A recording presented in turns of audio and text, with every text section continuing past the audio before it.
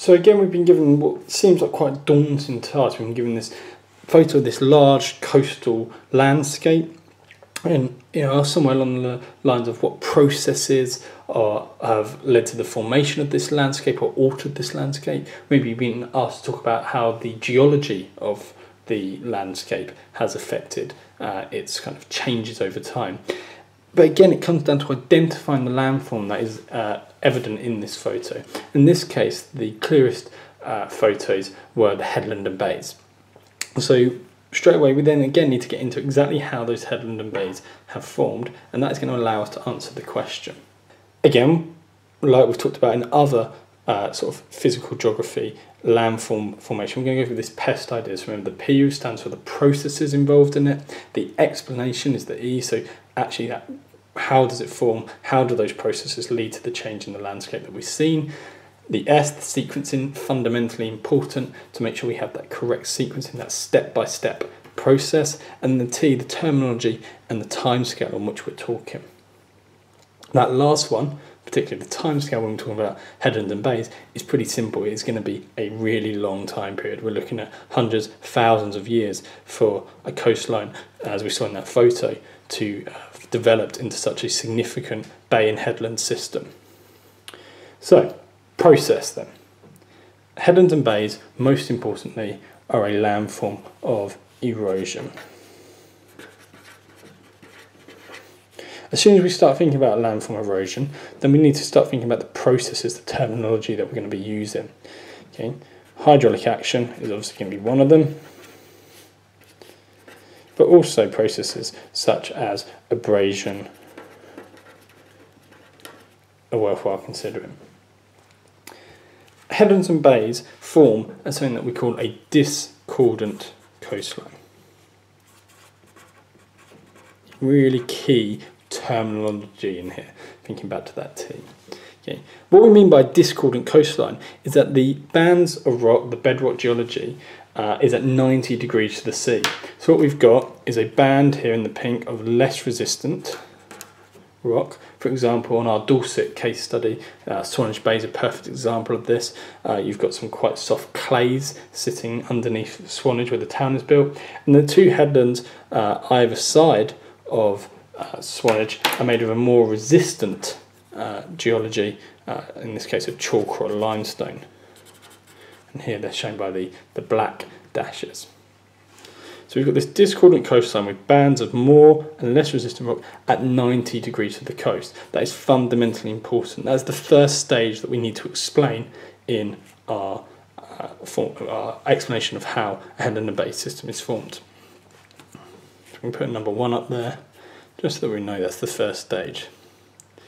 What we then got to work out is how a straight coastline like that, with those bands of different rock, leads to that kind of uneven coastline that I showed you in the photo a minute ago.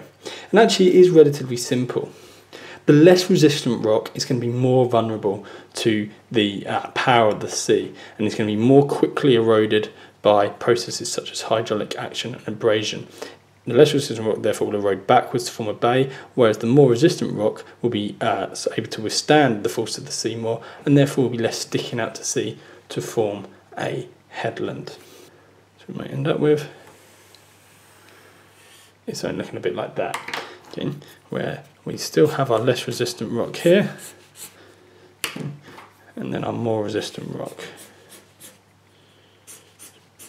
less sticking out to sea like that in the exam write it something along the lines of this. The less resistant rock is eroded more rapidly by the processes of erosion, such as hydraulic action and abrasion. Remember, I'm explaining it, but I'm also trying to get that terminology in, and I've named the processes, creating a bay, whereas the more resistant rock is left jutting out to sea as headlands. A common mistake that many students make in the exam is to assume that their job is done at this point.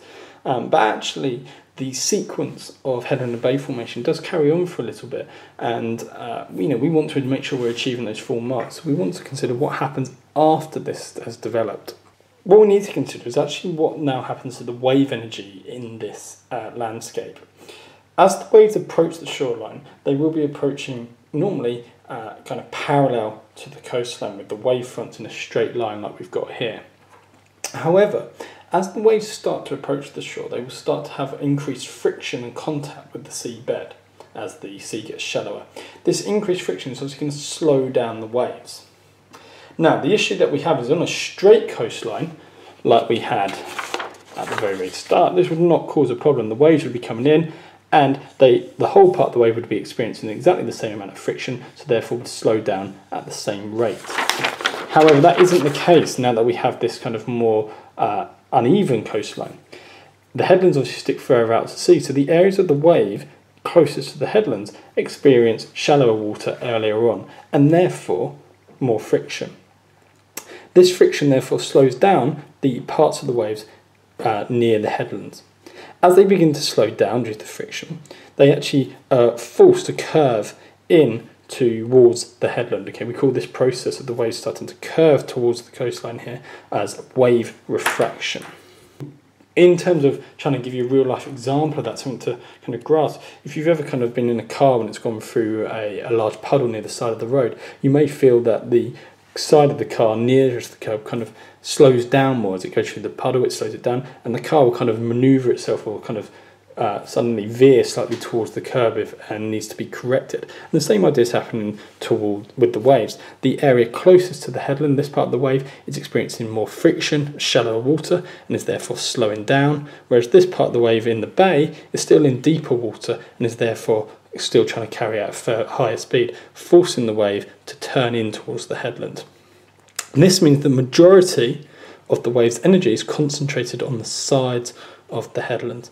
As a result, we start to see increased levels of erosion on the headland sides, and that may then lead to the development of landforms such as caves, arches, stacks, and stumps that we'll look at in a later video.